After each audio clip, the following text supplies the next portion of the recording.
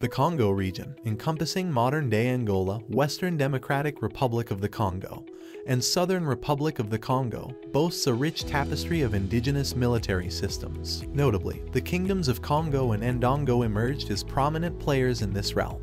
Within this landscape, formidable war leaders like Nzinga, also known as Njinga, distinguished themselves, with Njinga's leadership standing out as a testament to female prowess both on the field and in governance. The chronicles left behind by Portuguese mercenaries, priests, and travelers who traversed this region during the 16th and 17th centuries offer a vivid tableau of these native military structures. These accounts vividly portray instances where indigenous forces thwarted European designs and incursions. Such encounters effectively dispelled the misguided notion, propagated by some Portuguese of that era, that Africans would succumb as easily as the Inca or Aztecs in the face of horses, firearms, and artillery. The formidable warrior hosts of Angola adhered to a relatively open formation in battle. At times, they strategically deployed central, wing, and reserve forces, showcasing their tactical acumen against both native adversaries and the Portuguese interlopers. This adaptable approach underscored their ability to navigate diverse combat scenarios, solidifying their reputation as adept and resourceful military entities. Nzinga, often referred to as Njinga, was a shining example of this martial prowess. Her legacy transcends gender, as she emerged as a redoubtable female ruler and field commander in this complex geopolitical landscape.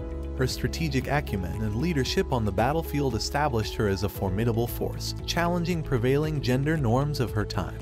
Her story remains an inspiration, a testament to the indomitable spirit that coursed through the veins of the Congo region. Accounts penned by Portuguese mercenaries, priests, and intrepid travelers paint a vivid portrait of the native military systems that held sway in this region. These chronicles narrate tales of resounding victories against European plans and incursions, shattering the illusion that Africans could be easily subdued by the mere introduction of horses, firearms, and artillery. The Congo region's military proficiency was grounded in a keen understanding of their terrain and the mastery of strategic deployment. The narratives of Congo and Ndongo, etched in the annals of history, illuminate a pivotal chapter in the African continent's military heritage. Their martial traditions were not confined to brute strength but were finely honed strategies that reflected an acute understanding of their environment.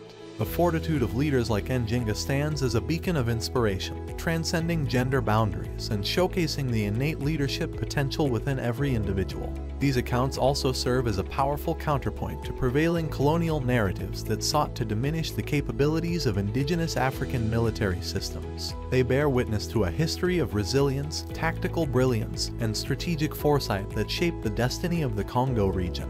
In recognizing these narratives, we gain a deeper appreciation for the multifaceted tapestry of African military history, one that defies simplistic categorizations and invites a more nuanced understanding of the continent's complex past.